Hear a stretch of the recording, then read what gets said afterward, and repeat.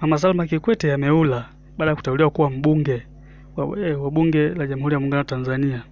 Kwenye taarifa iliyotolewa kwa vyombo vya habari inasomeka hivi: Jamhuri ya Muungano wa Tanzania, Kurugenzi ya Mawasiliano ya Rais Ikulu. Taarifa kwa vyombo vya habari Ikulu, Dar es Salaam. Rais wa Jamhuri ya Muungano wa Tanzania Mheshimiwa Dr. John Pombe Magufuli leo tarehe moja Machi 2017 amemteua Mheshimiwa Salma Kikwete kuwa mbunge wa viti maalum wa Bunge la Jamhuri ya Muungano wa Tanzania. Mheshimiwa Salma Kikwete ni mke wa rais mstaafu wa awamu ya nne wa Jamhuri ya Muungano wa Tanzania Mheshimiwa Jakaya Mrisho Kikwete. Mheshimiwa Salma Kikwete ataapishwa kwa mujibu wa sheria na taratibu zitakazotangazwa na Bunge la Jamhuri ya Muungano wa Tanzania.